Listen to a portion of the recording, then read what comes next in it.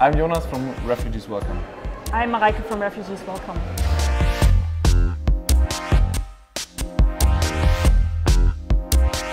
Why should refugees uh, not be able to live in a flat share with locals or in other private housing situations?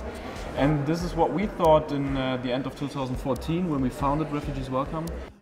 Before, uh, in 2014, we were totally interested in the in the problems uh, of the housing situation and accommodation of refugees in, who arrive in Germany.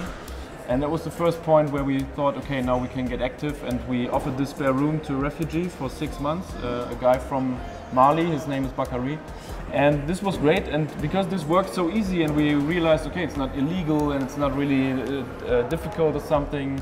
Uh, we just thought about it. Okay, let's make a platform and tell people and spread the word that this is possible.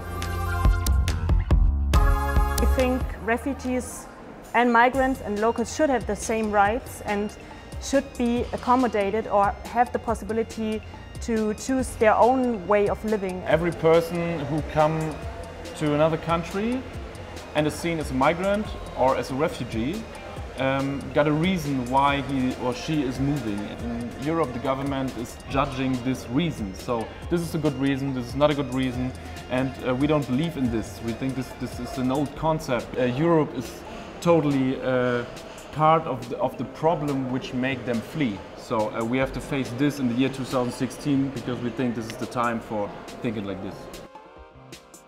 We have to stay flexible with the concept, I think, um, because we have to face uh, other problems than last year. For example, last year we had like 1,000 registrations for spare rooms per month, and now we got about 50 to 70 registrations per month. So this is what makes it totally important for us to to keep the concept flexible and for example uh, in Portugal to also say okay it's not only about refugees because there are not so many refugees as in Germany for example it's also about migrants and just bringing locals and non-locals together to a dialogue to have a better life for all of them together.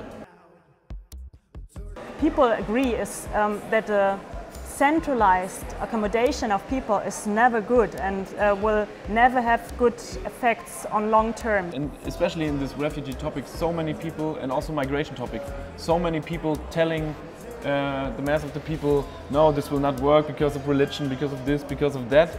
And um, we didn't believe this, and we just said, okay, let's make an experiment and see what happens. And this is totally important for us because we are, how you said, a small NGO. We cannot we cannot uh, bring thousands of people in, in living together. It's not possible for us because of the structures and stuff. But we can show that this is working. And this is also for utopia and for the long term and the sustainability of this idea that, uh, and also in architecture and migration, that uh, this can work. And uh, we just bring the proof with Refugees Welcome.